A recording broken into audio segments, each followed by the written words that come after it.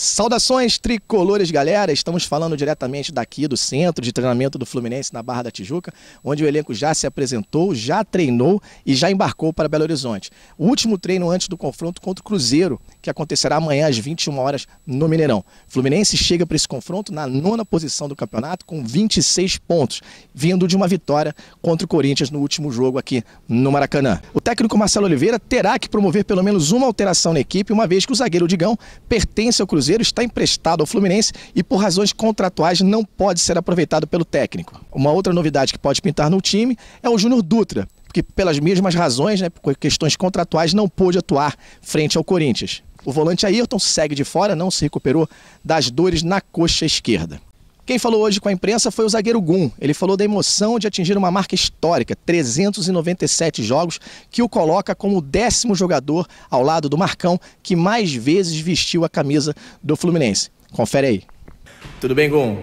Gum, eu vou começar a entrevista citando Nelson Rodrigues, né, que dizia o seguinte: Os grandes são os outros, o Fluminense é enorme.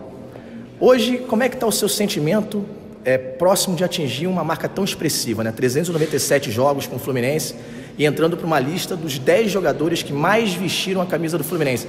Um, um, esse seu sentimento de participar agora de uma forma mais efetiva da história de um clube que foi berço da seleção brasileira. Como é que é o sentimento, coração do Gum hoje? Ah, de muita alegria e gratidão, né? Gratidão porque são muito, muito tempo, muitos jogos, né?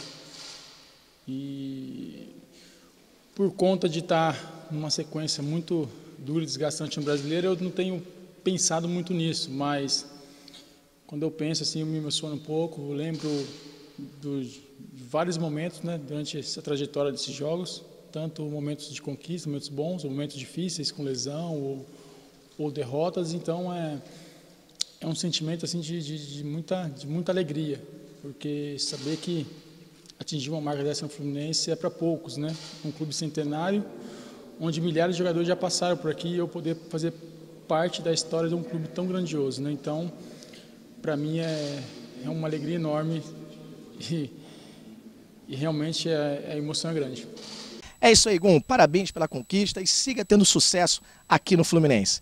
Outras notícias, é, a informação que nos chega agora é que Pablo Diego renovou o seu contrato até o final de 2019. E por falar em renovação de contrato, a gente observou uma movimentação aí na internet, em grupos de WhatsApp, falando a respeito do contrato do Marcos Júnior, que o atleta teria pedido 250 mil reais mensais para renovar.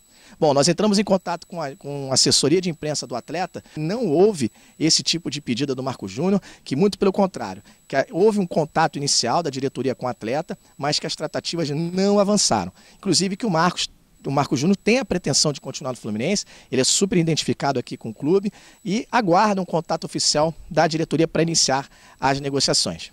Ficamos por aqui hoje, espero que vocês tenham gostado. Não esqueça de se inscrever aqui no nosso canal no YouTube, siga-nos nas redes sociais, porque você já sabe, né? Saudaçõestricolores.com. Aqui a notícia é tricolor.